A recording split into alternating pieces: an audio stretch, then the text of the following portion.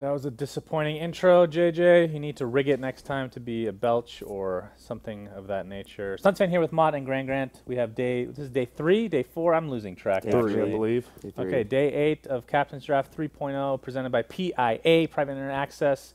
Today we have two best of threes.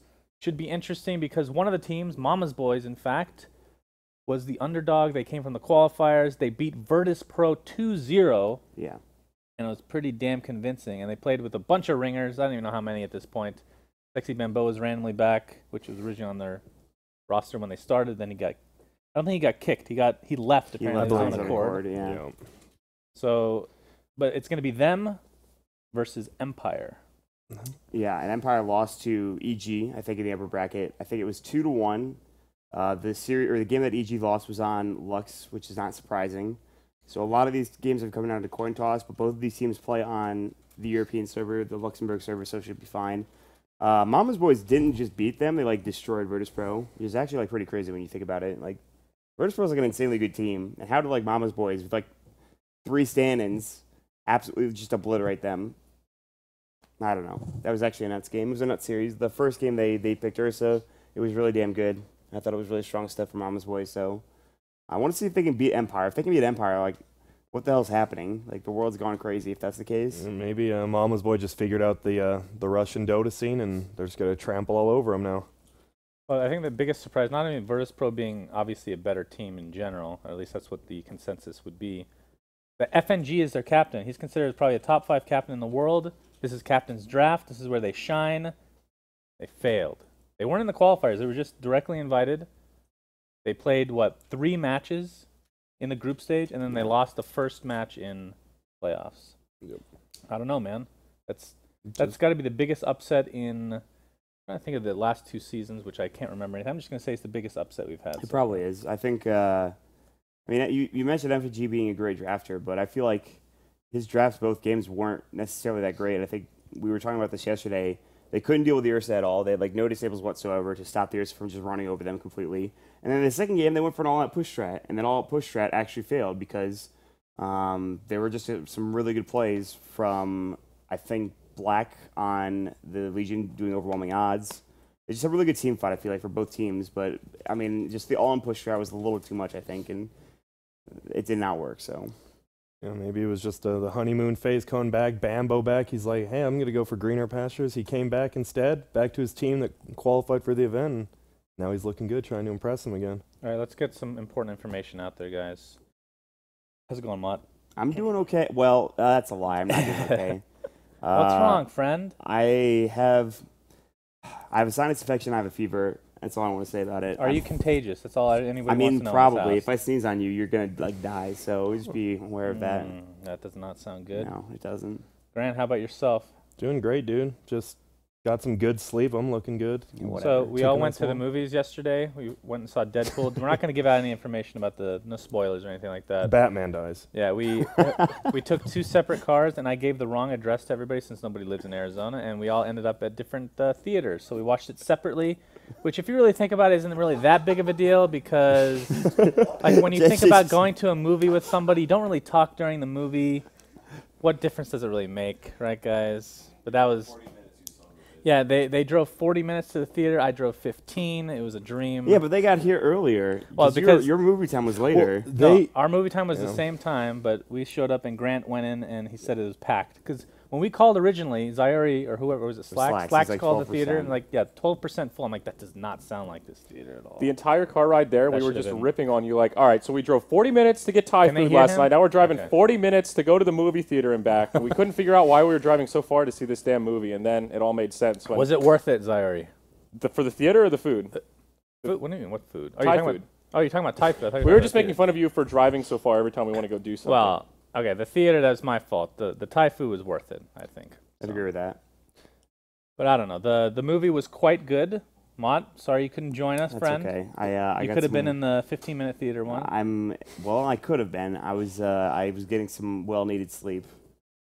Like Did- like dying in the So- bathroom. I wish we could get that on mic. You hear a very violent cough and then like something breaking. So Slacks is doing fine, guys. Don't worry. And now it sounds like he's jerking off. I don't know what's going on over there. Whatever. Everyone needs to do it. There's a house of guys. It's Valentine's Day. Why not? Oh yeah, The only person you love is yourself. Then go for it. that's true. That's true. And actually, there were some great jokes in Deadpool. If you guys haven't seen Deadpool yet, if it's not out where you were, it should be out worldwide. I guess Yeah, it sometimes is. they they s- It's They only- stagger the I- I don't think it's out worldwide. I think it's out in America. just America. Well, that's how a lot of it works. It's Well, like they the- release they release movies like every like couple weeks or so in different countries. It's not for every movie though. I, Like this one was specifically made for like Valentine's, right? That's their whole marketing scheme. So the question really? is, Well, does America, yeah. everybody does everybody celebrate Valentine's Day? Is this an American I, I think only I think everybody celebrates Valentine's Day. I'd be very surprised if I think a lot of people celebrate Valentine's Day. Um, I mean, none of us are apparently. so- JJ, do the Germans celebrate Valentine's Day? Do the Germans celebrate Valentine's Day? Eh. What do you mean, eh? It's the yes or no question.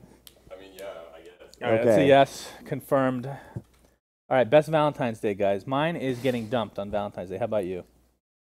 And by dumped, it was just my second date, so it doesn't really count. I Well, mine's having a date for Valentine's Day, so I still haven't. I I still mean- haven't had it yet. So one day, you know. Mine is going I'm to similar. Deadpool. How about that? Ooh, Sorry, Mott. You were at the house. I was sleeping. you were with. Uh, But it wasn't Valentine's Day, so it was okay. Uh, it's, it's it's Valentine's, Valentine's Day. Valentine's Eve. Day today. It was the eve of Valentine's Day. My val- my best Valentine's Day is spending it here with you guys. All right. I wish we had a good segue, but that is unfortunately going to have to cut it. So, but the series after this is going to be Alliance versus who is it? Uh, the upper Liquid, bracket that's- liquid. That's right. Lower bracket. Oh yeah, yeah, Alliance upper lost. Oh, that's they right. lost Vega. That's actually wow. That was that was even a okay. That's the second biggest upset probably of this tournament. But Alliance versus uh, Liquid. What do you guys think of that match? Alliance, of course, coming with a huge win streak. They won every single game of the group stage, and then just lost. Went straight to the lower bracket. Yeah, they might be kind of demoralized. And Liquid, I mean, they looked pretty good in like their first game yesterday, and then they got thrashed by DC in the second game. They came back and won pretty convincingly in the third. I think you just use a little bit, and they can start steamrolling. If they take Alliance out here, I think everyone's considering Alliance a top three team again. But after how bad they looked versus Vega, it's possible. Yeah, that was that was a rough series for them. I was very surprised to see them get 2 0'd. I mean, it really comes down to how they're going to play. How they, are they going to play like they played yesterday, or are they going to play like they played the rest of the entire tournament?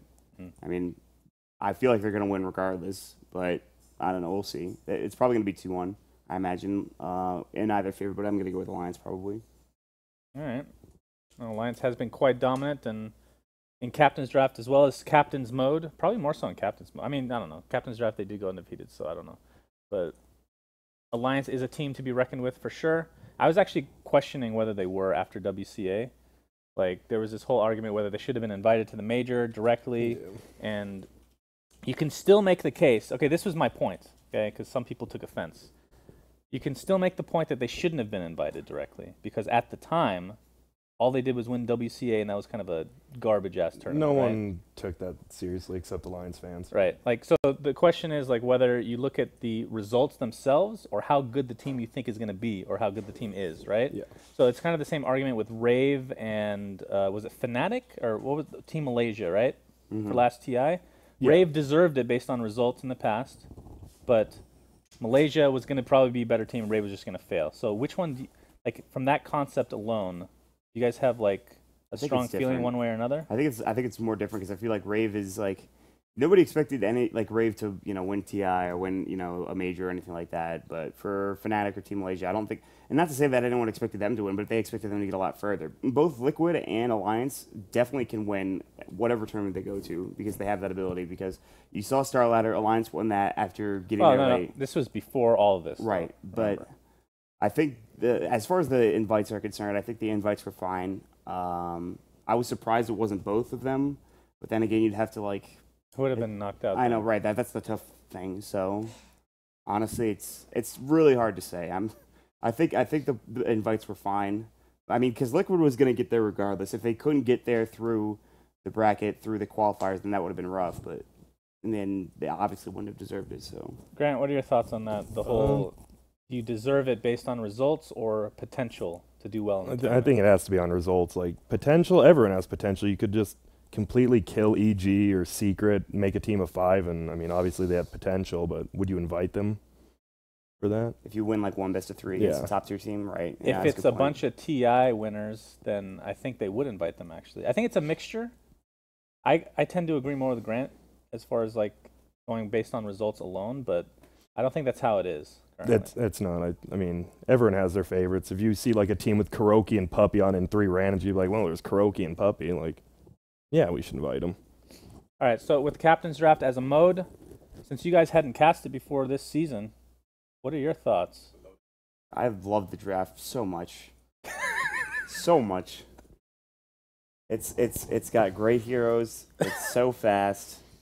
It's just the best thing ever. You- it's so much different than Captain's Mode, God, and I love it so much. I I kind of wish the pool was smaller again. I remember last again. CD it was like way smaller. They seem to add, you know, oh, you mean the like the the the the heroes Hero that pool. oh, no the, like that you can draft from. no, no that's seems the like- same. It's the same Oh, as last, it? but the difference Oh. is that every hero is viable now, and last That's season true, it yeah. wasn't. Well, every hero, yeah. So that that was kind of one of the the gripes, I guess, from some people on uh, some forums, we'll call them, where they would say that this season's captain's draft isn't as good as last season because more heroes are viable. So it kind of looks like some of the heroes are being played over and over. But the difference is you don't see these combination of heroes. That's the thing. Yeah. Right. Like, sure, sure you have the odd Riki, the odd Arc Warden, and crazy ass picks like that. Omni Knight is pretty common, but I mean, overall, just the five man lineups are pretty crazy. It looks like we're going to be in the draft here. So We've seen a bunch of warlocks. I think that's one of the biggest things. All right, what do we got here? not this time though. What do we got? We got a lot of supports. OD at the bottom, like always. Carries are looking okay. Haven't seen Meepo yet. And it is going to be the same lineup for Mama's Boy as yesterday. So All right, Black is Black owned last series. Give him Legion again because he owned with that hero. That was great. If only they had known that Meepo would be available, they would have gotten Weeha. Oh this. yeah. Maybe Black can play Meepo. Ah, just kidding. That's not gonna happen. Um, so what do we got here? All right, forget about what's viable, guys, because what's crazy? what what do you want to see? Spirit Breaker. Yeah. What? Uh, Why? You're a, Grant's a huge Spirit Breaker Really? fan. I Okay, helped him. thank I God he invented gets that banned. hero in the NEL, dude. I brought I brought that into him. Yeah, but he got, he got old fast though. He got picked like every single game. It's true, and he got. I mean, anytime a hero has a global presence, it, they're just going to be considered strong no matter what it is. Like Yeah. Furion now, Yeah. first pick every game almost. yeah, that's true. I, There's an Ursa. If it doesn't get banned, it'll get picked up. That's one of those. I want to. I want to see Phoenix potentially. I'm, I, I don't think these heroes are going to get picked. They have a chance to be Phoenix and Nyx Assassin. I feel like I, I like all, both of those heroes. There's a couple good heroes against Phoenix, like uh, to take out the egg. There's That's true. the Ursa and Legion Commander right now, and Meepo. yeah. and Meepo. Yeah, I don't think Phoenix will get picked. It, there's like very few instances where, i unless you're picking it last, it's just not going to get picked. I feel like in a lot of a lot of the time. There's an Ab, um, Abaddon in the no, pool. I I Tusk, agree with. Purge that you should just go with what sounds better. Abaddon sounds way better. Okay, well, good. I don't care if it's wrong. Windrunner is still a thing for me, by the way. It's, That's uh, how I- listen, Putting it out guys. It's, it's spelled a bad Don. Okay, I'm But he's not even that. bad. He's a good one. That's right. I'm, I'm, I'll Uh, see you guys later. I'm We out. got some good jokes on the couch, everybody. Woo! You know what I'd like to see, and it's gonna sound weird saying it because you just haven't seen it in a while. Shadow Fiend, which which is is not a thing. He's not. It seems like him, him and TA have been in a lot of these pools, and they're usually top tier picks. But in CD, it seems they're just not really valued at all. Yeah, and now they pick up Quap over those like those heroes, I which think- is interesting. I think Quap's good because there's not that much lockdown unless you're going to commit to like a Sand King or an Axe. Like no disruptor or anything like that, which would be huge against him. Yeah, I think her. we're going to see a Rost. I have a feeling that's one of the better supports in here. I Someone's think going to need Abaddon has to be picked this game. Like he's too good, right? Right, if- like he's good enough in CM, Yeah. but in CD he's just. it. Oh yeah, if it was a North. American game, he would have been first Oh, pick. that's That true. hero is so valued. I and I mean it's a good hero. Tusk. It's strange that some heroes are just completely ignored in other regions. Yeah. Like Abaddon, I don't understand why he's not more picked in other regions. Yeah, like Legion Commander in Europe, he, even in CM, he's been getting like second, third picked. In North America and China, they don't even Yeah. consider I mean, it every hero. okay, every season of Captain Draft has a hero that comes onto Just- the scene, right? yeah. There was Witch Doctor and Centaur in Yup. past season. I think Legion Commander is this season. That, that and Warlock. There's been a lot of Warlocks.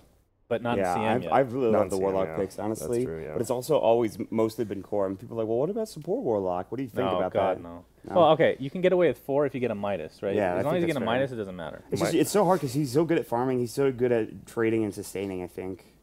Yeah, I think Midas Iron Talon on any four support. There you go. IceFrog Easy just win. made that. Speaking of that, there's Tree, Tree guys. and Protector. Yeah. Let's go. Come on. Or we can do the Lifestealer Cheese strat. Okay, looking at the lineups, do we have any good ancient killing heroes? Because Lifestealer is always good against teams with none of that. Uh, Gyro's okay Gyro's late picked. game, Gyro's but like okay. he has to get da- like he doesn't get that much damage, right? Team Until like like 40 minutes. There's not really no. There's not really good any like any good instant Ursa's good, though, and so. yeah, I mean besides So if anybody's gonna get it, it would be it would be Empire. Or not Empire, is- sorry, Mama's Boys. This is interesting. I like the draft from both sides. I was gonna say something.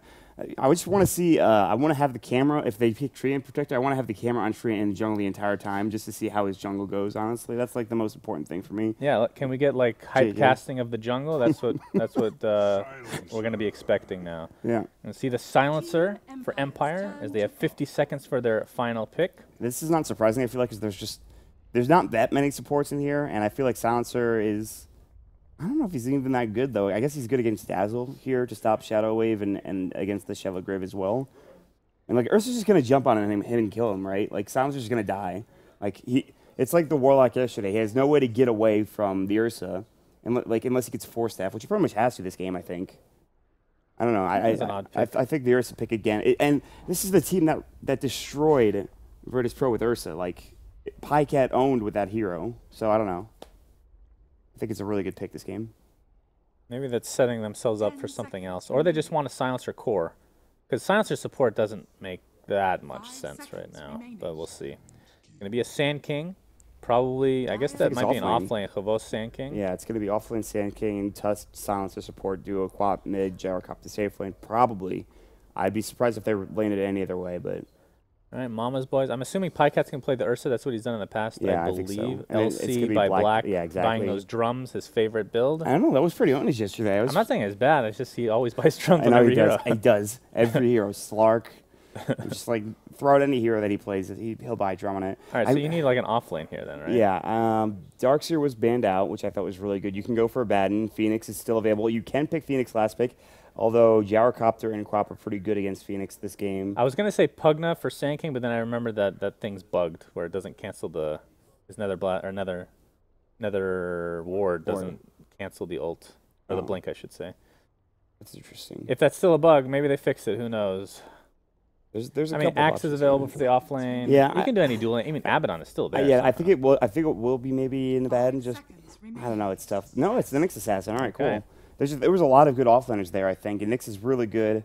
Um, he, again, this is another hero that's just going to own Silencer or like one of these squishier heroes. If they get caught out by it, he's just going to wrap around behind him, and all of a sudden, boom, you're dead or something like that. All right, so with this draft, we will send it over to the casters, Zyori and Purge. Thank you very much, Sunsfan. Mama's Boys versus Empire, ready to get underway here. This is elimination, though, Purge. Loser of the two series today, actually, going home. This is the, the sad part of the tournament where people have to start getting knocked out. That's exciting, though. It's, Oh, uh, sure. I mean, it's already been a good run for Mama's Boys. They already got an upset yesterday. Mm-hmm. Um, they could do it here as well. Um, I think that they this is gonna be a pretty even game, definitely. I think so, too. Yeah, especially with this lineup of Mama Boys, Black, uh, as well as Sexy Bambo. I talked about it on the panel a little bit. Same roster they had yesterday, and they Mm-hmm. really look to be in good form. It's kind of an interesting draft for them too because they're gonna have to be putting an Ursa in the mid lane, which is, you know, at first I was like maybe they're gonna do safe lane Legion Commander like they did yesterday, and they ended up with that. Um, and they also went for a Nyx Assassin on Bambo, and he plays a really good Nyx Assassin. It's good against a lot of Empire's heroes. Very good against Silencer, very good against Quap.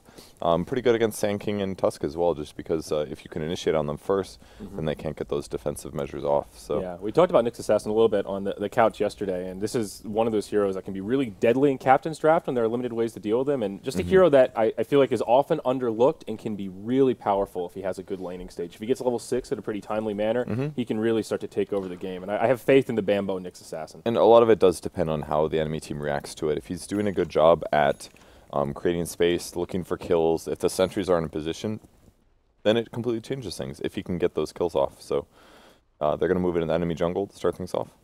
Yep, and uh, Probably going to be blocking camps. They do have some sentries here on the uh, Shadow Shamans, so double sentry. I, I mean, they kind of need in lane as well to deal with Sand King, I guess.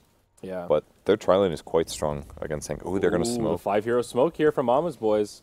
I kind of like this because I think Empire's draft is going to be better in the late game. So I, I think a little bit of early laning advantage would be huge for them. Yeah. This isn't the best level one lineup for Empire. Queen of Pain, Silencer, definitely not the Uh, dream. They're going to bump into FN here. The smoke gets broken. Shackles come out from Zap- Yapzor. They've got plenty of damage. Just an easy first blood. And it will be the Shadow Shaman that gets that bit of bonus gold. I, I really thought they were going to maybe weave around the trees a little bit to approach that, maybe something like this, but they just went straight at him, and the Quap was not watching, and that's that's a good kill. Yeah, really nice. Sexy Bambo with an Iron Talon first item with a set of tangos. We might actually see some more action. Bambo walks up to the high ground. He does have a stun, but he gets blocked out by the Ice Shard. Stun on all three.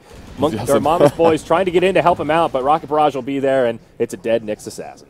Yeah, that was kind of a really big mistake here because that actually means that the rating team gets bottom bounty rune now, and before they maybe weren't going to do that. It I was mean- kind of an awkward play. He didn't have vision, obviously, as he poked to the high ground, Yeah. and he wanted to scout it out, but you know the enemies are nearby. I mean, you just saw Maybe. them behind the quad. I, I mean, I think that's why he ran high ground. He wanted to say, are they here? Are they not here? Because if they're not, then he can.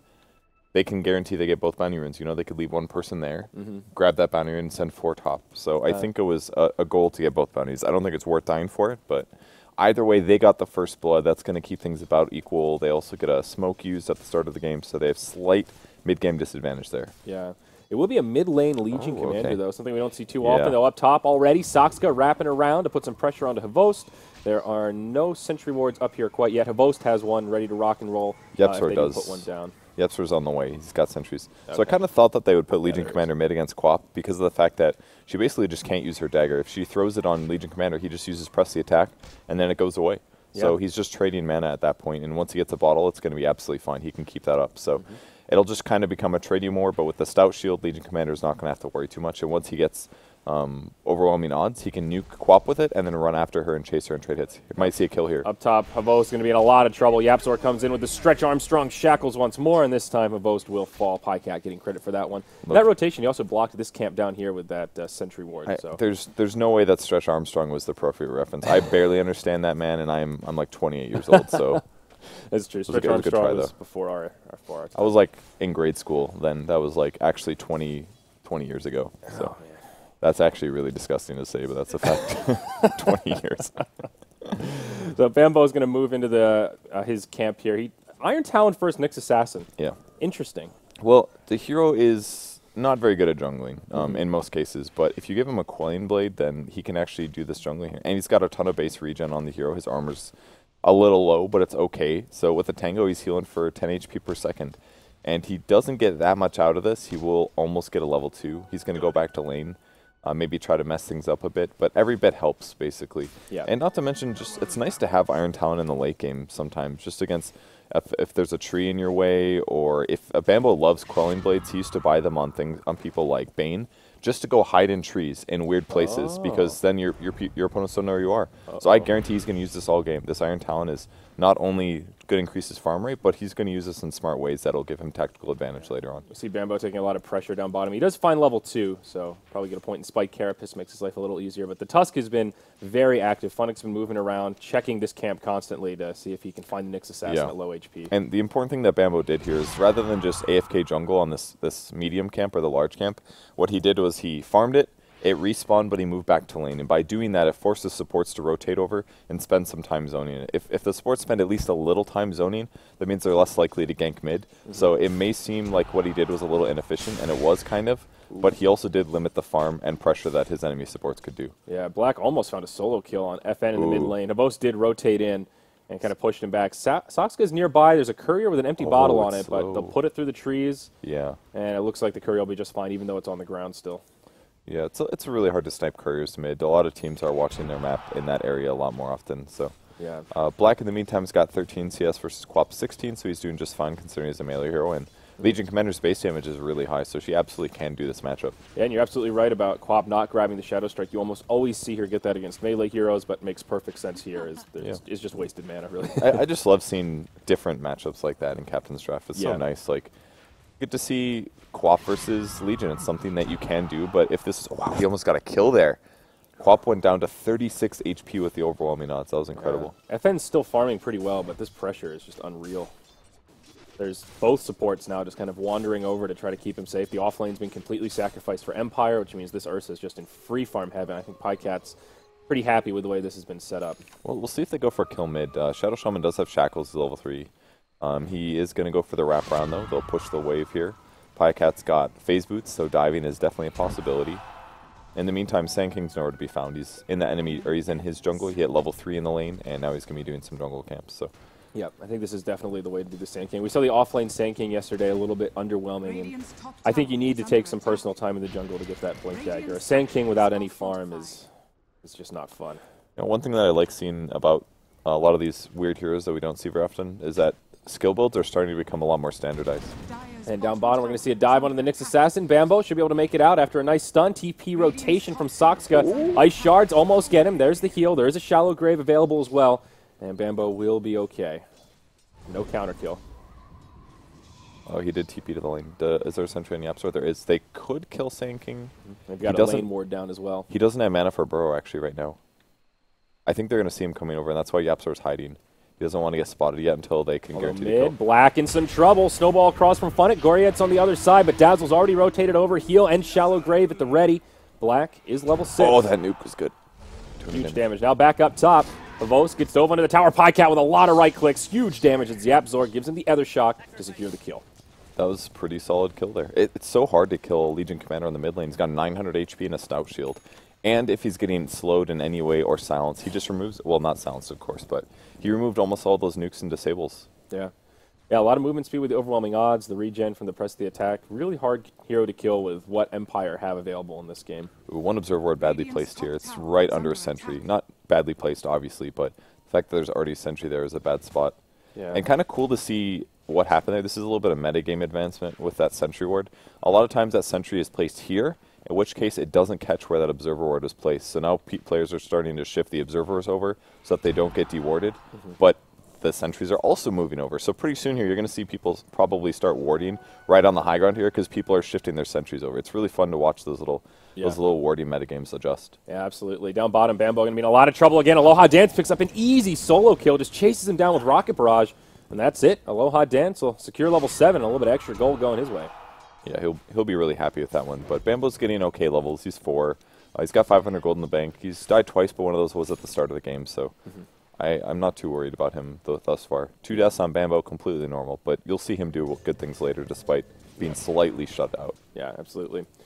Now, I was mentioning the Ursa kind of in free farm heaven, but uh, Aloha Dance is in a similar state. They're within one or two CS of each other, and even though Bambo has been getting some experience, there's not really much he can do to stop Aloha Dance from finding those last hits. He'll get his phase boots up, Ring of Aquila, and already has that belt of uh, giant strength. So could be just going for that Sange first item to get some extra HP. We've been seeing that a little more commonly. This mid gank was so sloppy here. Like Avos was trying to move and go for the burrow strike, but he just kept getting blocked by the Queen of Pain.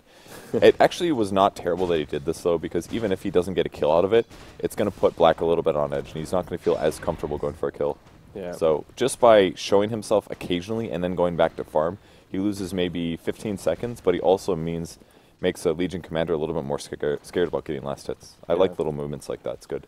Yeah, I like how uh, Empire are shuffling their lanes here. Havos now getting some jungle priority. He is level 5, but still pretty far off that Blink Dagger, only about 750 gold in the bank, and that makes some space for Funnick to go up into the off lane and try and leech some XP. He's still trying to get level 6 for that Walrus Punch. He'll TP mid now, and it looks like we'll see a rotation onto Black. Four heroes from Empire grouped up here about the mid. FN reasonably low on HP, but does have a Sonic Wave.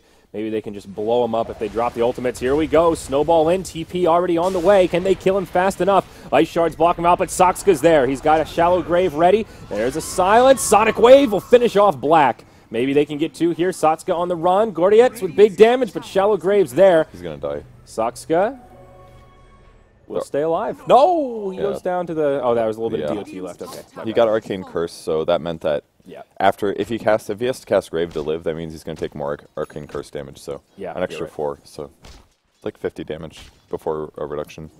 All right. Pretty good gank.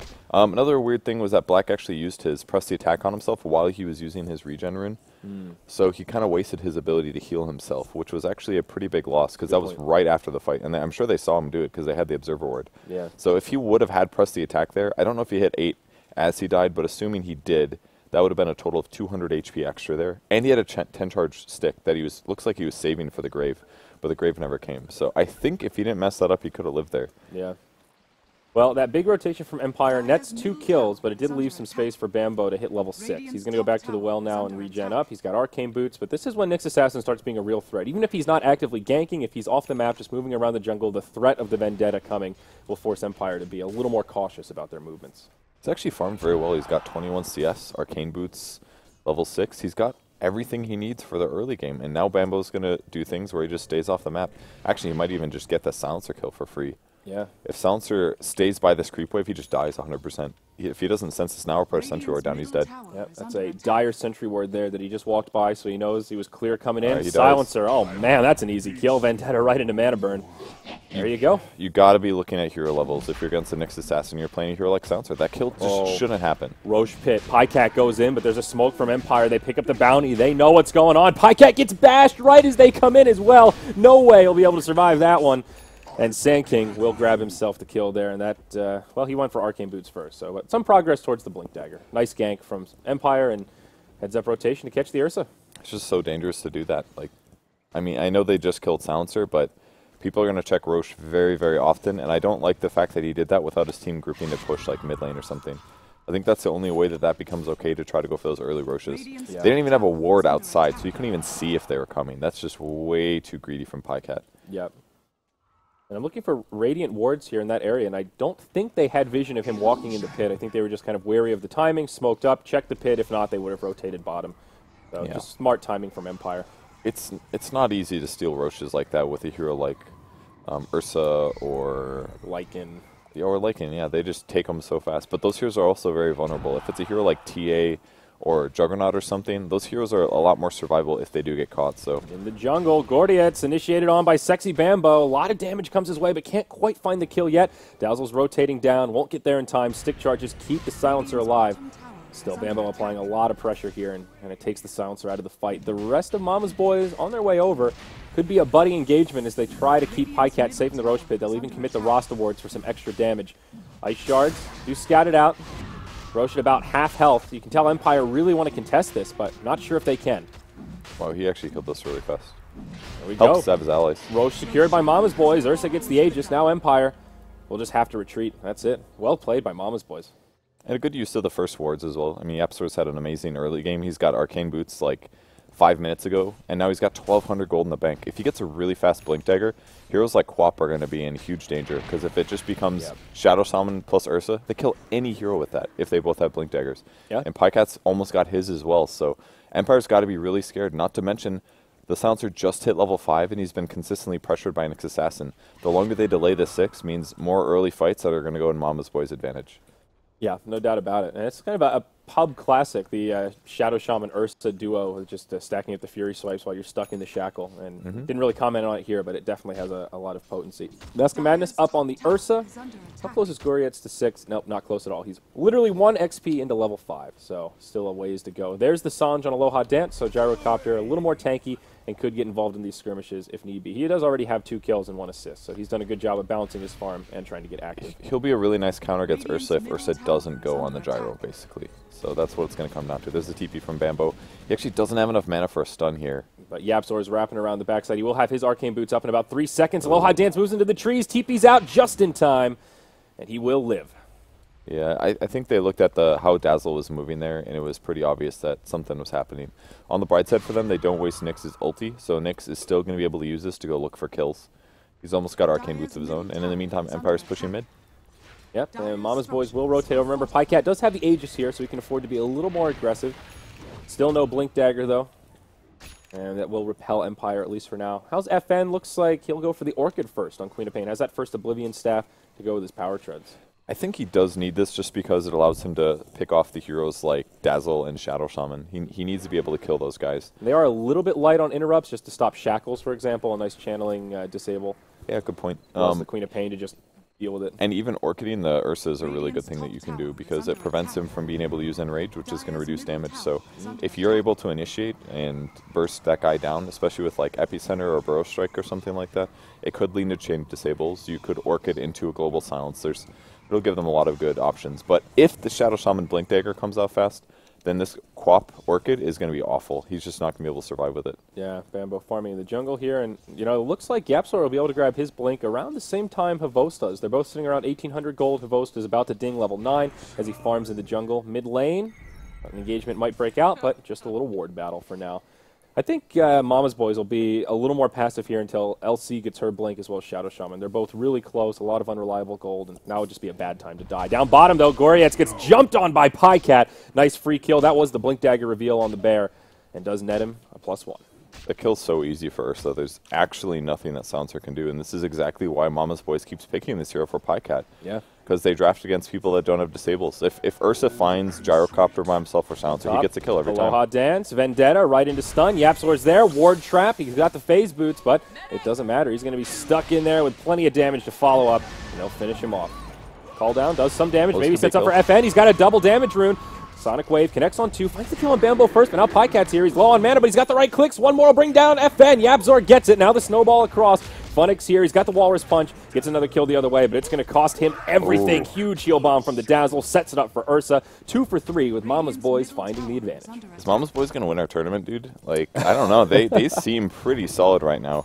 They're, Or CL won elimination mode, so it would uh, kind of follow suit for the way Moonduck's been doing tournaments. yeah, no kidding. They love these game modes. It's the pub mode, dude. a Black, little bit, yeah. Black does pick up his Blink Dagger. Uh, good choice. It's definitely a different game than it was the last time we played Legion. They can go for ganks. They don't have to worry as much about death, panic, team fight stuff. Ooh, smoke here from Gorietz and Havost. They'll join the gyrocopter with But a they're TP. gonna gonna this go is right not where they want to be. Oh, nice stun from Havost. Buys some space for Gorietz. But Havost, okay, they're just going to push him back. Thought they had some detection to bring him down, but looks like they didn't. If that stun only hit one person, then that would have been dead silencer. But Yeah. luckily, um, they, they did burrow strike both heroes. But that's a great way to break a smoke. That should give Mama's Boys a bit more smoke advantage. There's two on the courier, or sorry, two ready to be purchased for the Dire team. Mm-hmm. Are for Radiant team and Dire same two. So So once again, we'll see an Aghanim Scepter on the Ursa. He's got the point yeah, booster. I It's pretty good. Um, he can remove Orchid. It basically means QoP's Orchid is worthless if he buys it. It's kind of a nice counter to Orchid, actually. Orchid mids. Yeah. If you think about it that way, not only does it stop the Orchid from working, but it means that during those like five seconds, you just don't die because then you're taking 20% of the damage she deals. It's quite good there. And like we talked about, they're pretty light on stuns. Sand King is the main one, and if you can use your ultimate to get out of that, they don't have Yeah. too much to slow them down after that. And it actually hard counters Global Silence. It's a cool interaction there. It's like a BKB, basically, is what that item does. Yeah. It's, kind of cool. No, I didn't really think about that, but you're right. Yeah, It's stop. really good this game. So it stops that. It'll stop Burrow Strike. It'll stop the Orchid from QoP. I think it's a pretty good Ags game. Like people keep buying it. I think the only game that it wasn't good was the game that RTZ bought it because mm-hmm. almost every other time I see a lot of value in the item. Yeah. Great against Global Silence. You know the. the and it also doubles the duration of Enrage, which is not insignificant. Does it? goes from. Uh, oh, um, oh no, never mind, not Enrage. I misread that. Oh, we'll see Havos just get destroyed. That's the first duel victory for Black, plus 14 call down. damage. But call down coming in. We'll clip Black. They're going to try to chase this down, but these are going to be tough kills to find, except Yapzor. He's going to be stuck in the tree line. He deploys the wards, and Soxka will grave himself, maybe buy himself a little bit of time here, but it looks like he could still fall in the end, depending on how much they pursue, and they'll get it. A three for one. They do get the duel damage, but far from ideal for Mama's boys. They were ready to fight. They might kill Aloha here. Yeah, Pycat goes back in. Oh, the creep. Oh, he finally gets it. Now the snowball will come into Pycat. He's already used the ultimate, but he'll turn. He wants to try to fight Funnick here. He needs to try to back out. The DOT What are they- will they not be enough, but the ice shards get it. Now Black locked in place, poking Funnick as much as he can. Walrus punch comes off cooldown. Elite stick charges, but not enough. Can't survive. Now Bambo, can he come in to take out the trash? Havost is there, connects with a stun. Bambo not quite ready for that one. He uses the spike Carapace, but Snowball will still connect with the stun. Mama's boys starting to come apart at the seams here. It's just one long team fight as Yapzor comes back. Goes in onto Funnick. Big damage. Gets it with an auto attack. But again, it's going to cost him his life. Empire getting so much out of this. Havost ending with a double kill and just about hitting level 11. Yeah, great fight there for Empire. It looked so good on Mama's Boys at the start because they did get that uh, duel off. The global silence was wasted, but their turnaround was just so strong. They picked everybody off one by one, and definitely that last engagement, Mama's Boys clearly got outplayed there. Yeah. But they kept trying to cover each other, and it led to maybe them getting a kill, but it was not good trades. Yeah, at first it looked like just a really good pickoff, and then they could disengage, and instead it was the opposite. I, I'm, this, I'm not used to this desert map. I kind of didn't realize that Yapzor had ran up into the high ground above the rune and isolated himself. I thought he was going to be able to easily get away, but kind of an awkward position to put himself in. It was, but he was trying to delay things. Unfortunately for him, there was just a bit too much damage from the gyro, and his wards didn't do that much. I also think they didn't get much value out of the dazzle. Um, he did have to grave himself, but when you're being chased by three heroes, that doesn't do anything. The fight was basically Mama's boys trying to run, and they just kept getting picked off. And the other bad thing was that Bambo ended up dying twice there in that fight. Once at the start, and then once as he cop, uh, got back. And he's he was only a mere 300 gold away from his blink dagger. If he would have had that, the fight would have been so much easier. Look at this graph here, Wow. Purge. That is a big swing. About 4K net worth. Mama's Boys had a 2K lead, and now they're at a 2K deficit. Experience graph pretty comparable.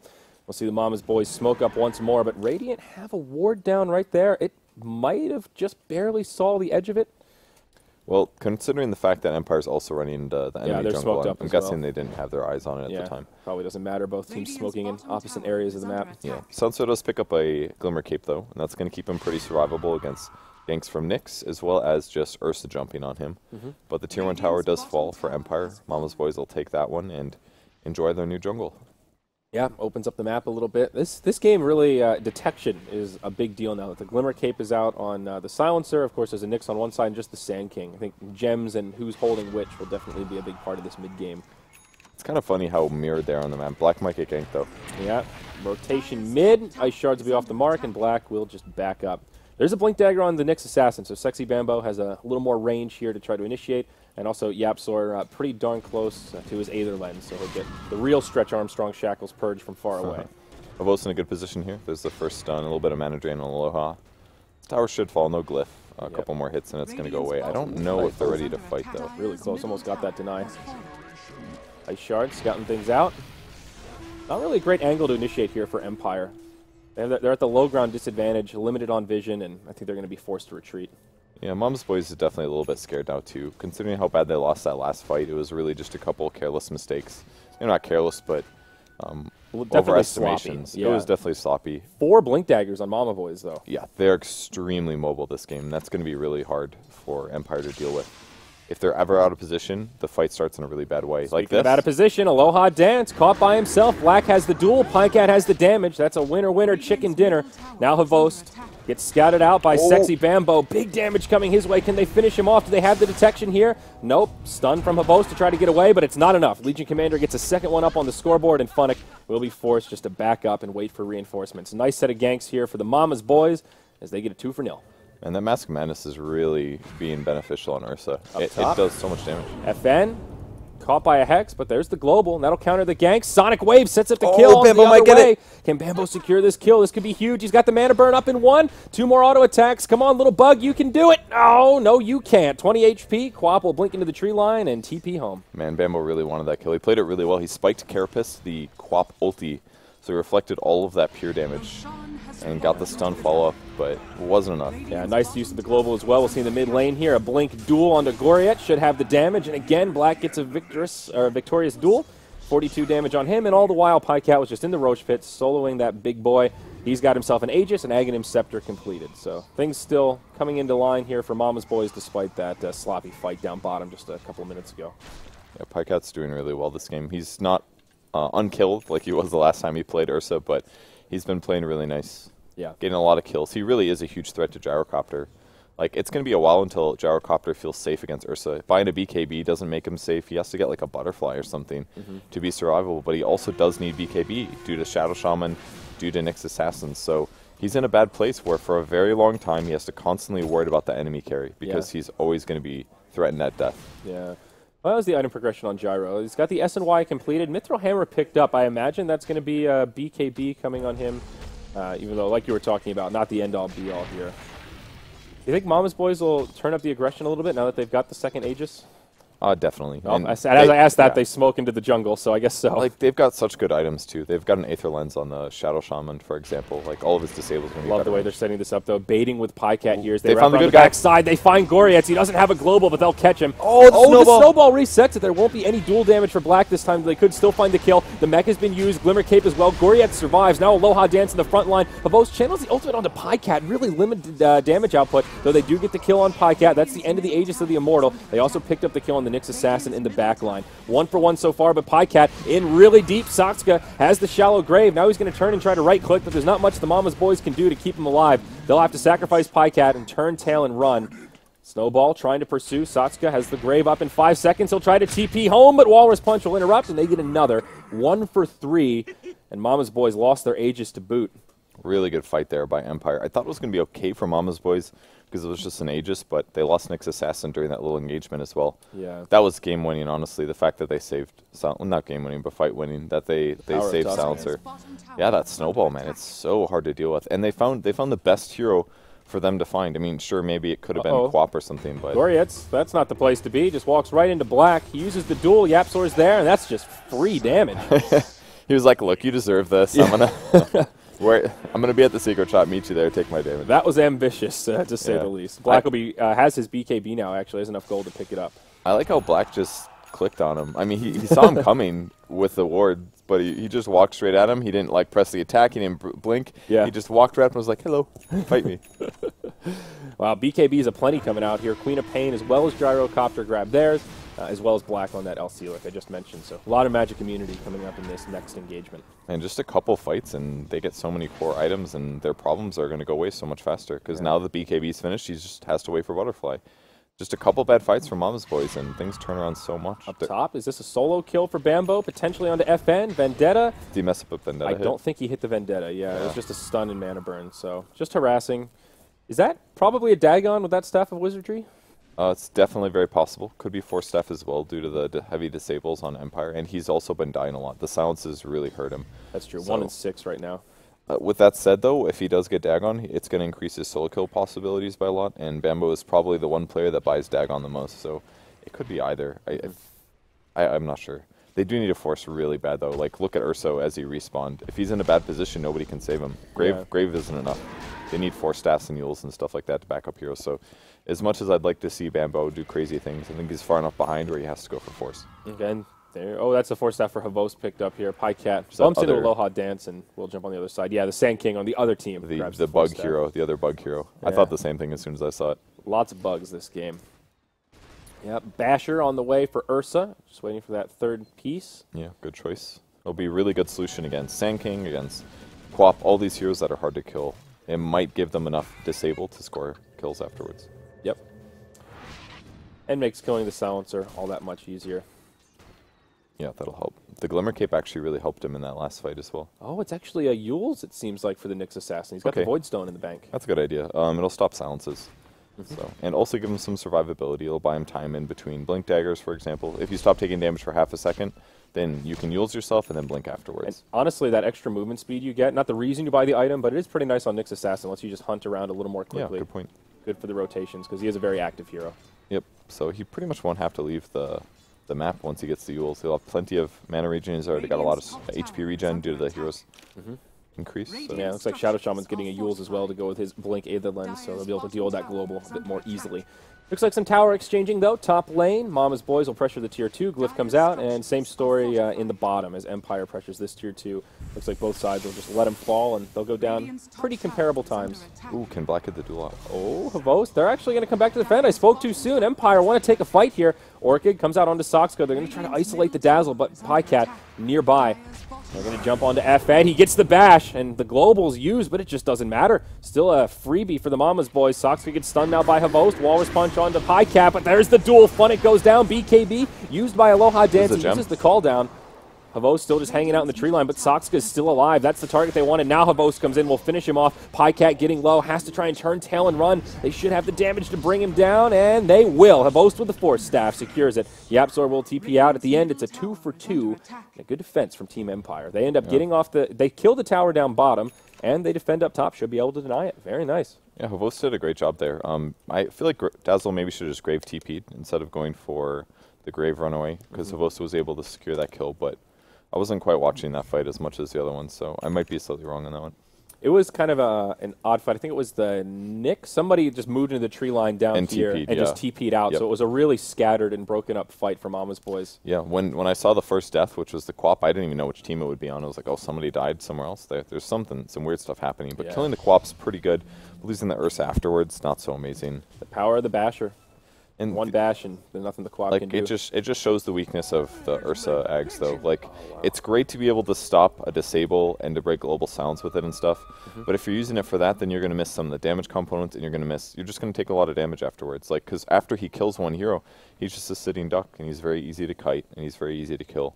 Yeah. So the gem situation looks like it did hit the deck for Empire, but they were able to recover it. Yep. Havos grabbed it and he's handed it back over to FN now. Actually, Aloha dance on the gyro snagged it. Oh, I believe. Um, I'm not sure who was carrying it. Maybe Tusk or something. But It's a hot potato. They've just been passing it around. Radiant Jungle, Sexy Bambo bumps into Havos, doing some harassment, but no way to find a solo kill there. And we'll just back off. I like that Bambo's Okay. constantly hunting, though, keeping eyes Yeah. on the enemies and just putting pressure on them, making sure that they're that, that paranoia effect. You know, they're always wondering Yeah. where's the next assassin? Could he be coming? that's how he plays, man. Like he, he's constantly pressuring his opponents, making them unsure where he's going to be. Yeah. So then they are farming less efficiently because they're standing next to each other. It's a lot of really good things he does as a Yeah. player. So Gyro looks like he will take heed to your advice here, Purge. He's got the Eagle Song picked up, so most likely the Butterfly for some evasion. Yeah. that'll make uh, Ursa's life more difficult. He'll most likely go MKB this game. I think Pycat's going to have to at some point. Kind of. It's evasion is really good against Ursa, um, but it's also in some ways slightly bad. Out of all the heroes that do heavy physical damage, he's maybe the best against it because if you miss, it doesn't use an overpower stack. So basically, you attack full speed until all six hit. So despite That is an interesting missing, mechanic. you still get to attack really fast. he doesn't burn any of his charges. Doesn't Yeah. really cost him anything except some of that burst damage output. Yeah, you waste a little bit of time, but he just keeps slapping until he hits you six times. So it Okay. it's good against Ursa, and it can make a huge difference. But Ooh, F Fang gets jumped on by Black. Easy duel setup. Bambo's oh, got they the got the mana burn. gem. That's a gem. That's 600 gold and more duel damage. That's the kind of kill that uh, Mama's Boys is hoping for. That's such a big kill. That was a BKB. Uh, there's a BKB on Black, and he's got 3K in the bank. It's a nine second wonder what BKB he still. wonder what he buys. Maybe AC, uh, possibly MKB. I think an AC would be pretty solid. It would Yeah. really increase their damage output. And Black's overall survivability to physical damage isn't really high right now. Not that that's a big deal. There isn't that much physical damage on Empire, but It would help. I, I think It- that's it the perfect definitely mix of survivability and damage output, and they're going to start to group up a little bit more. Now that we're past the 30 minute mark, team fights will be a, a little more prevalent. Speaking of team fights, Rosh on the way, about five seconds till it comes up. Pycat blinks in. Oh, man, that's a little bittersweet. See if he lingers around, but this will be Aegis and Cheese, Rosh number three. it's just such an early Rosh. Yeah.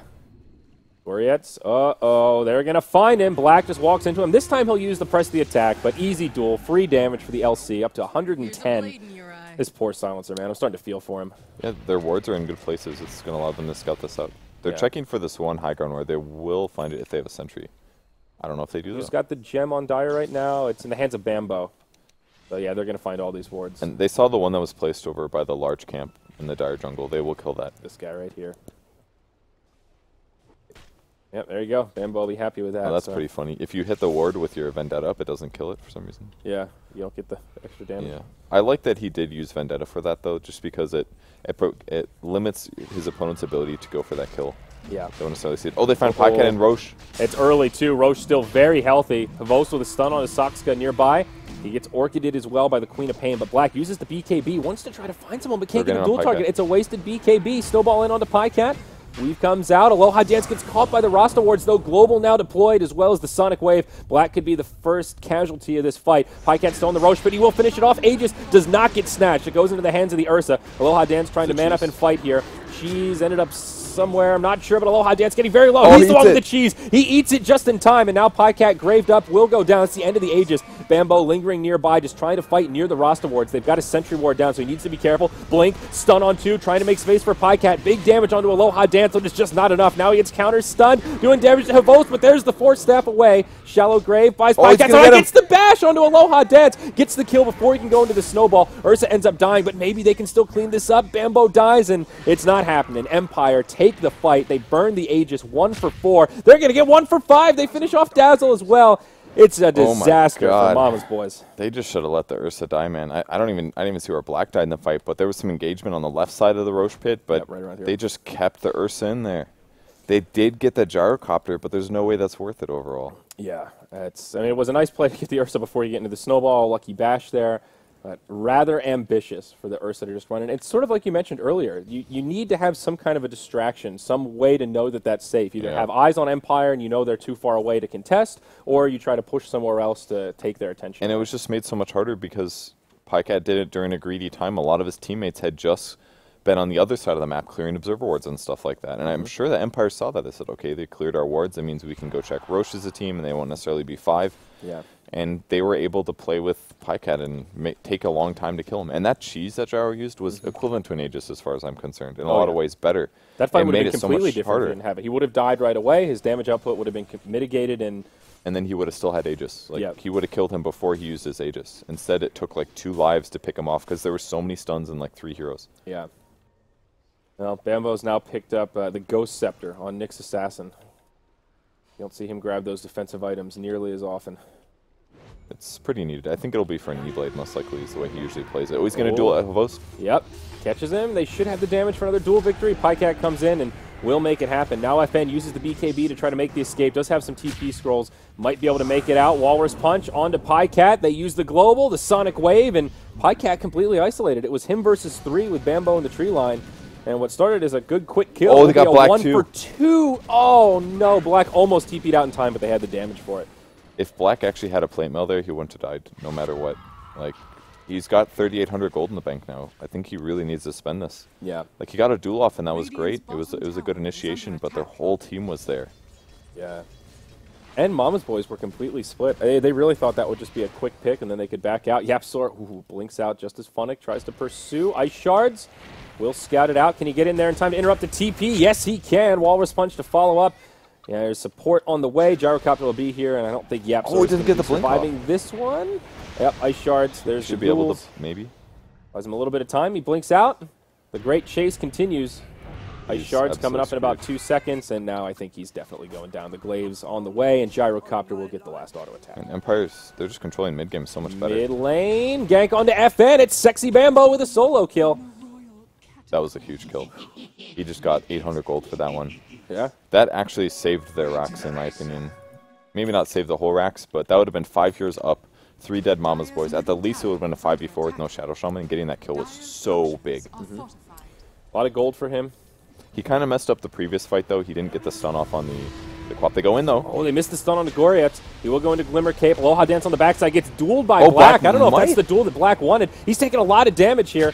Meanwhile, on the other side, Bambo hit by the Walrus Punch. A really chaotic fight for Mama's Boys. Their damage is completely split. Bambo, the first one to go down. Black is still alive, but very low on HP. Pycat forward, one on three, does some, or one on four rather. Does some okay damage to Aloha Dance, but seems like Mama's Boys are kind of falling apart at the seams here, Purge. That was a really weird fight.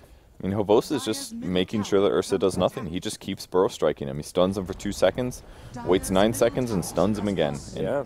Every time Ursa tries to fight somebody, it's just not quite working out. This Ags hasn't paid off at all. Yeah, they'll get this tier 2 tower in the mid lane. Buyback from Bambo comes straight away. Ursa doesn't have one. He'll be in the grave for about 50 seconds, but with QoP down, Empire won't go for the high ground. There's still one outer tower remaining up top. They'll clear out the dire jungle and then go back to their side of the map. Gyro now up to about 4,500 gold after that fight. He's had the butterfly for some time. Well, at least Black does have some of his AC components there, and the duel was kind of good because it delayed Gyro's damage. But True. on the opposite side of the fight, it was just a Nyx Assassin and Ursa trying to deal with three heroes, and they need Shadow Shaman involved in that because they need lockdowns. Mm-hmm. They need lockdowns. They also could also have used the damage from the wards there.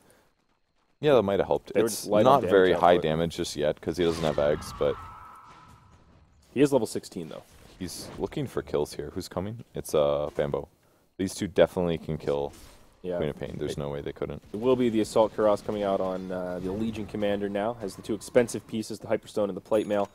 So coming up uh, right around the corner here. Look at this gold graph, man. It really speaks to this game, how back and forth it's been. Empire taking the biggest advantage we've seen yet of only 5k net worth at 37 minutes. Just speaks to how close it's been. And I, I think it's really been Empire's just playing well from behind, and Mama's Boys is playing kind of poorly. in their decision making sometimes. They like, played well in the early game, but now they're Yes. getting may, maybe a little cocky. I don't know if that's the right word here, but it seems like these team fights they are sort of just running at them and not quite on the same page. With Yeah. are we all committing to this, or are we just going for a pickoff? They will get a tier two tower down bottom with Rasta wards, but it will probably cost them their tier two up top. Yeah. certainly will. The first fight that they lost was definitely like that. They played very overly aggressive, and it didn't work out very well. And now Gyrocopter has this big butterfly advantage, and Mama's Boys needed to push their advantage before he gets that.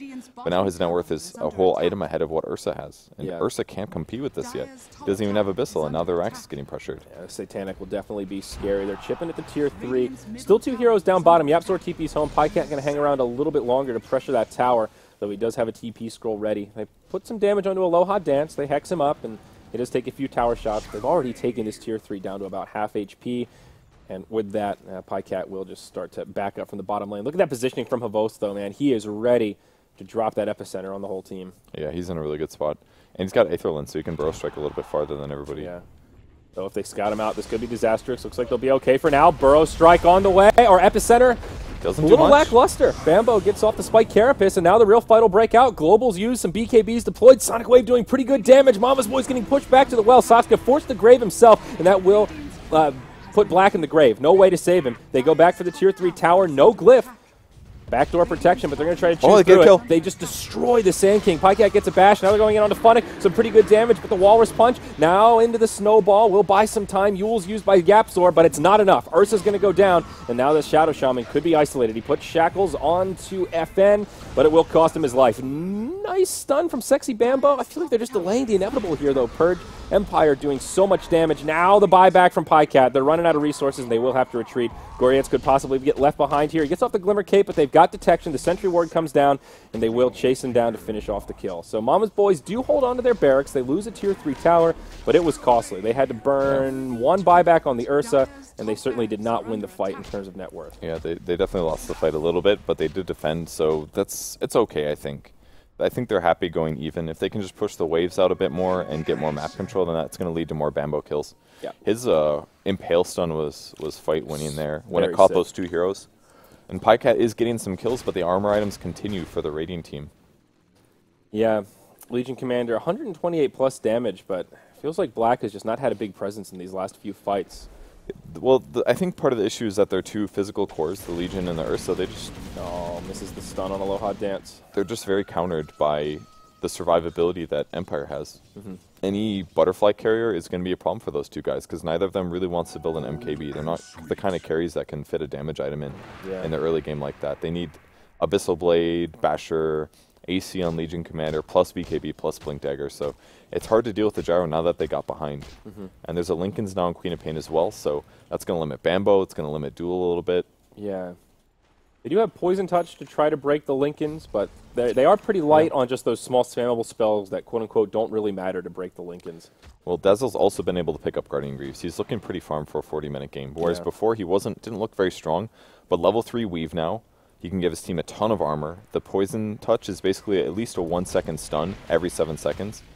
It's his disables are actually gonna be pretty solid now. and He doesn't have to worry about silence as much as he did previously in the fights. If they can just have another fight where Epicenter falls pretty flat, Ursa does ultimately go MKB. By the way, he just Yeah. really needed it. It's actually not terrible on Ursa. You attack so fast that if you get a couple mini bashes, you could actually get incredible damage. It's kind of like a crit here. They might Yeah. fight. They're going to move. Van Empire trying to steal the Dire Ancients. They'll use the Weave to scout out the pit. Rosh is not up yet, but he's coming in a couple seconds. Whoever wins this fight could be rewarded with Rosh number four. Is a pretty important time. Losing Weave was pretty big there. They could have caught some big heroes. Yep. Minus Empire 15 scouted armor would be so good. Aloha Dance will just start chipping at Rosh, but they definitely don't want to commit to this. They know Mama's boys are up on the high ground. Looking at Vision, both teams very limited, no wards down from either side. FN will blink to the high ground. I guess Empire will have a small advantage with the frozen sigils. Bambo's they can scout behind. with it. They could go on Havost here. Yep, Rasta wards have come down into the He's going to try to duel him. They're going to go on him in a second. Here we go. Havos isolated up on the high, high ground, and there's the duel. The global silence just comes out a little bit too late. Sonic Wave does big though. damage, though. They finish off Yapzor. Pycat gets graved, although really low. Now they'll be able to finish off Dazzle after he gets orchided, and Pycat will definitely go down. This could be the end of Mama's Boys after that. Three heroes down, no buybacks. Rosh will definitely go the way of Empire at this point after a one for three fight. I just don't agree with Pycat going in there while they also duel off the Sand King. Yeah. I think he had to wait for the counter initiation. He just doesn't have a BKB. He can't be the frontliner. It only works for four seconds. It's a great play to isolate the Sand King, but the whole point of that is to give you an advantage before the fight starts, 4v5. And if you take the fight like that, where you have two heroes committed to kill the Sand King, and then it's a 3v4 on the other side, Yeah. you don't really get that number advantage that you're hoping for. Especially when one of your carries is one of the ones dueling on the other guy. It's, Yeah. it's like Ursa is backed up by a Dazzle and a Shadow Shaman versus a Quap who's really farm farmed than, more farmed than anybody on Mama's Boys. A Gyro that's more farmed. Like the, the gold advantage clear wasn't there. Mm-hmm. I think what they should do is they should have sat back as they went on the Sand King and counter initiated as Empire is about to initiate on those two heroes. Instead, they both win at the same time. I think they were scared about Rosh being low or something. Yeah. And just Ursa, despite having a great early start, just keep kept putting himself in a position where he gets chain stunned and wastes wastes his enrage and didn't have a BKB. Yeah, no, this is a really scary time for Mama's Boys. Havos comes back. He has BOT, so he can get right back into the fight. He'll go to the mid lane. There are no buybacks available for Mama's Boys. They will have the Ursa up in about 30 seconds. Mid lane of barracks have already gone down. The top lane going down quickly as well. Melee barracks get destroyed, and if Mama's Boys don't lose here, this will at the very least be some crippling damage. They find Sexy Bambo outside of the base, though. He's out of the game for 80 seconds. Ursa's still down for 20. This is rocky stuff, Purge. Yeah, that could just lose them the, ra- the last racks here. Yeah, this could this could very well be Megas. I don't see how they kill Aloha Dance once, let alone twice. He's got the Aegis, Satanic, and BKB. God, that's hard to kill. Oh, outside of the base, who do they catch? It's the Dazzle. This will buy them a little bit of time on the barracks. Ursa will be up. He uses TP. the Grave, TP out, and he'll live. Pretty clutch play from Soxka. It buys them a little bit of time here. They're going to have to fight 4v5. If they can do this, they can hold the game on, but it's still going to be hard. Lift is used now. Tier 3 towers already gone down. No Tier 3 towers remaining. It's just Naked Barracks. Savos goes in, tries to catch Black, but he BKBs. The Global comes out after he can't duel like he wants to. Black's just going to be completely isolated here. He gets destroyed. He's got the buyback. He'll use it. Nyx Assassin has gold for his now as well. Savos channeling the ulti, goes in on the Pycat, but it's the other way around. Pycat will bring him down. This is the big fight they need. Aloha Dance getting low. They'll finish him off. He's got the Aegis as well as the BKB. Oh, they're getting kills. back up. They're really starting to pick up the kills now. Quap isolated off to the side with the Eul's Scepter. She gets dueled as she comes back down. They're going to find the kill there as the gem hits the deck. They get Oh. the silencer on the back line. Aloha Dance now bashed right away as he's hexed. He may fall as well. Havos with a stun, but they'll interrupt it. They've got the detection with the Euls. It's Oh going to be a five-man wipe. Mama's boys hang on. They have to burn all their buybacks, but they hold the base. There's two heroes without buyback on Empire, though, so they can definitely get some lane pressure here. Look they at that might. gold swing. Oh That was my pretty big. The experience change. Look at that. 15,000 experience. How many levels did they just get? Dazzle's 18. Nyx is. Ursa's 24, for God's sake. He's- That was insane. That was actually insane. Yeah. I can't believe they won that fight. They played it so well. So what's the play at this point, though, Purge? That was still a lot of damage. They have one ranged barracks left, no tier threes, still have quite a few safety structures in the base. But is this the point where you just go all Yes. in mid lane, hope they're in short a couple of buybacks, and just go right for the throne? You, you got to have one person defend. The problem is Dazzle doesn't have boots of travel, so he actually isn't going to be in the next fight. I mean, they may just not even buy buybacks. I think they're just going to wait for everybody to respawn. I think that might be safer than trying to buyback defend this. Wait for everyone to respawn, let Mama's Boys get a Rax, maybe work on a second Rax, which they probably won't get. Um, I- feel like Mama's Boys has to try to get a second Rax here in some ways. One is just They not have going to be enough. yeah. They'll use the Rasta wards down bottom. They've already cleared out mid lane. That's the glyph for Empire. All three heroes dead right now are without buyback, so it will be about 15 seconds before they can really take a fight. This will cost them at least two lanes of barracks at this point. Funnick and Goriets will not engage. They're just going to try to poke at them, do Okay, whatever chip damage they now. can. And that's two lanes of That's so big for Mama's Boys. Getting two racks like that without losing anybody is massive. They get back now. The, the lanes are basically equal. The one racks that they have left, which is a range barracks, they have a slight advantage in that lane, which helps as well. Which means they mostly only need to focus on top and mid. Yeah. So if they win the next fight, it's going to force Empire to buy back. And then if they can win the fight after that, they can win the game. So they got to win two fights in a row to take this. Yeah, and that's going to be really hard. And- Because remember, they don't have buybacks. They actually do. They've got three. They do? They've got one on Ursa, Shadow Shaman, and Dazzle. Oh wow, you're right. If Ursa buys Abyssal Blade, he bought a BKB. He's let, said screw buybacks. So Ursa's all in now. I mean, he needed this. Honestly, he's needed this all game.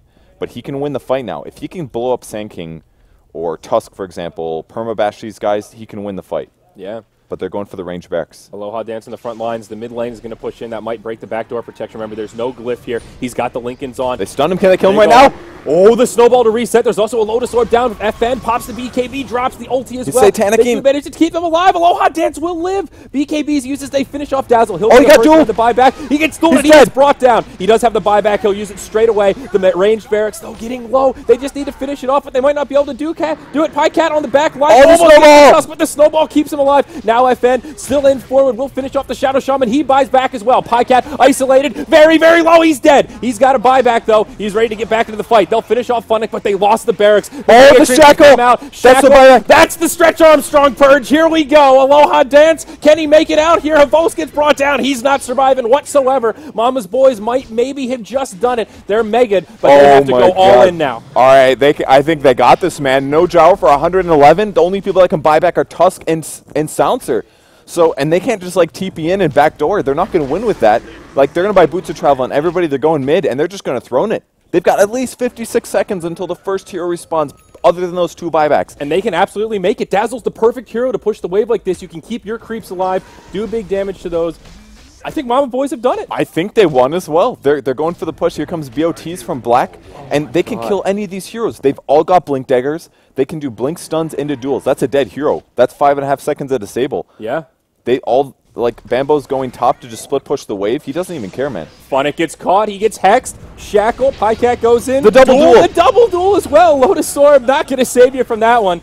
Black double rewarded there up to 218 damage. Rasta wards come down. It's- no it's just glyph. over. It's done. Gorietz is just going to have Well, to stand here and watch his throne They've got destroyed. 15 seconds, actually. In about 20 seconds, Quap and Sand King will be up, but No. the throne's undefended. It just GG. ends. They That's won it. Empire's out. All of the Oh my god. All right, so they go from winning the game to kind of playing poorly and throwing the game, and then at the end they're like, no, no, no, this is our game. We're taking the win. What a sick game, back Wow. and forth. Wow. My god. This is the lower bracket, folks, and these teams are certainly playing like it. Mama's boys take game number one in a nail biter race to the finish. 50 minutes of nonstop chaos. That What a was fun game. absolute insanity, and that was just game one. So uh, we're gonna take a quick break and then see what the panel has to say about that one.